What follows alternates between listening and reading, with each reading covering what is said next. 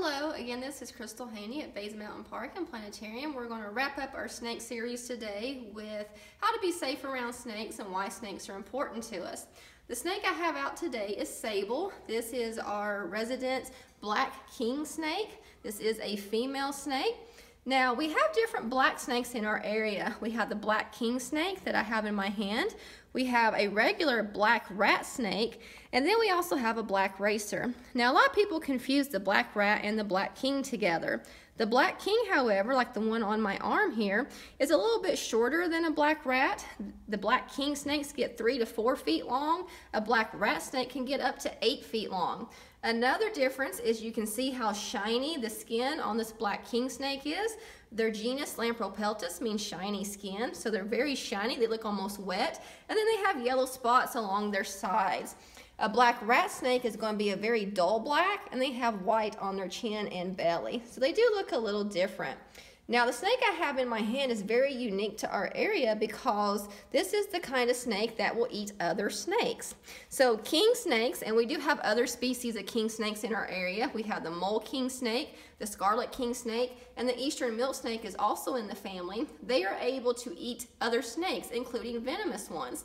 Let's say the black king snake here came against our resident uh, copperhead and the copperhead was to bite the black king snake. Well, they have an enzyme in their blood that breaks down the protein in the venom. They're kind of immune to it and then he, she could turn around and eat that copperhead. So they are uh, neat snakes in that fashion that they will eat other snakes, including venomous ones. But again, this is Sable, our resident black king snake. So we're going to talk today a little bit why snakes are important and how we can safely be around snakes without getting bit.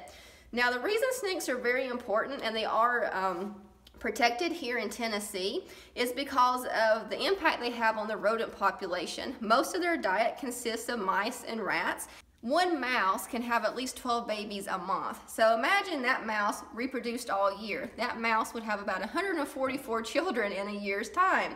So imagine if we didn't have snakes and other predators to eat those mice, we'd have mice all over the place. But with the snake here, they can consume a lot of those to keep the balance in the rodent population where we don't have mice running all around our house and inside where we don't want them. So they are very good in controlling the rodent population. That is the most beneficial thing that we um, can say about snakes. Now, another thing about snakes is even though they're a predator, they can also be a prey. Bobcats, coyotes, foxes, they like to prey on snakes as well. So they play double role in the food chain. Now you might be thinking, well, I don't want snakes around my house or when I go out, I don't want to see a snake. Now, if you go out into a park, more than likely you probably won't see a snake, but it could happen. On a nice sunny day, if you were out um, on a trail, they might have uh, crawled out to the middle of the trail to sun bask in the sunshine. So you're thinking, well, what should I do if I come across something like that? Or what should I do if I find them in my house? So I will tell you this, if you find them around your house, they're kind of doing you a favor. They are eating your mice and rats for you because snakes go where the food is. So if there was nothing for them to eat there, they wouldn't uh, hang around. So if you find one in your house, the best thing to do is take a big trash can, knock it to the side, take a broom or something of the like, and push the snake into the trash can. Take it outside. Maybe you want to take it a little ways off from your house and release the snake. But uh, if you have them around your house, just make sure you have no holes that they can get into your house. Um, things like that. Do uh, remind children if they see a snake not to touch it or approach it to get an adult. But again, we do want to protect them and have them around because they are eating all those rodents. Now, if you're out on a hiking trail and you see one, the best thing to do is just give it some space and kind of sidestep around it. Snakes do not have a good sense of eyesight. They don't see very far, so unless you're really close to the snake, the snake cannot see you. Now, they may smell you and know you're around, but they can't see you well enough to strike at you. So give it a nice wide path, go a, kind of a half circle around the snake if it was on the trail, and just let it be. Don't try to move it from the trail or pick it up or uh, you know, touch it or anything like that. Just give it space. Now, another thing about trail hiking is you want to stay on the trail. A lot of times the snakes will not be on the trail. They're off to the side, laying in some uh, leaf litter or laying next to a fallen tree. So if you get off this trail and start wandering through dead leaves, stepping over logs, you might accidentally step on a snake that you cannot see. Some of our snakes blend in really well with the environment, including the copperheads. So what you want to do is stay on the trail. That way you can see where your feet are. If you're at home and you go inside a barn or a shed and maybe you have lots of barrels or buckets, you know, don't be reaching your hands into places you can't see what might be lying in that bucket or um, what might be lying behind the bucket. Um, I know a lot of farmers like black snakes in their barns because they keep the mice out of them for them.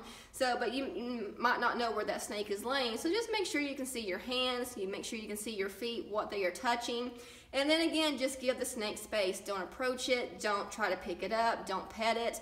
And so a snake is uh, just as scared of you as you are of it. It sees you as this big creature coming towards it, trying to touch it or pick it up. It thinks you're trying to eat it. So of course its natural defense is to bite. So if you give them their space and leave them alone, teach your children if they see one to not touch it, don't approach it, tell an adult instead. Um, more than likely no one will ever have a problem uh, with getting snake bit.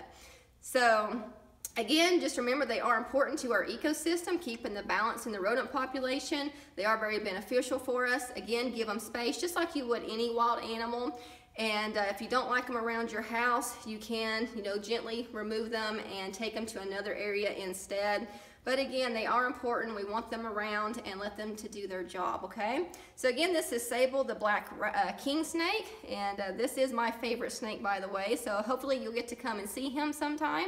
And I hope you've enjoyed the snake series um, that we have uh, videoed here for you at Bays Mountain. And again, we'll hopefully get to see you up here at the Herpetarium very soon. Thank you all.